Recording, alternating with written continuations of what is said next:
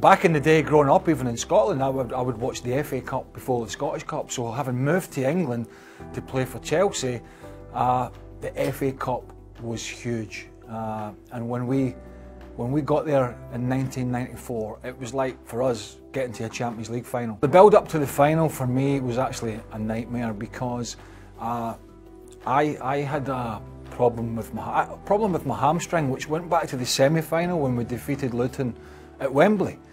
Uh, I was struggling going into that game and I played and I knew I wasn't fit and I, I, think I lasted 25 minutes or whatever it was and I remember going off and Glenn saying to me, you were never fit. So I was like, you know, it was one of those things that you shouldn't really do, but it was such a big occasion and I thought semi-final, I want to play. And it turns out it was something coming from my back. And so I was actually treating the wrong thing, but I wasn't playing.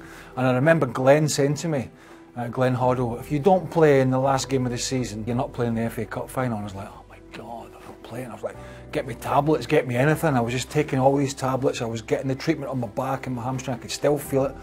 I wasn't training at 100%, but I, but I wanted to play. I was desperate. And I just kept that quiet. I'm not going to tell the physio or the manager that I'm struggling with a hamstring. I'm like, I'm fine.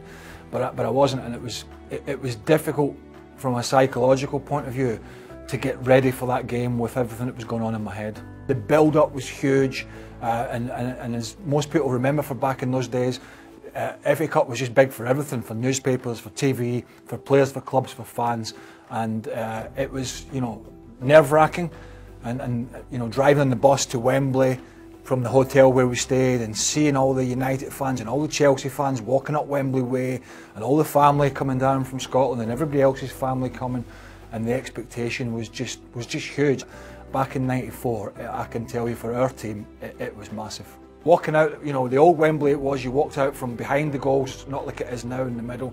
You had that big long walk out so you could see the whole of Wembley when you came out and you're walking your captain's taking you out and your manager and you're walking out beside the United players.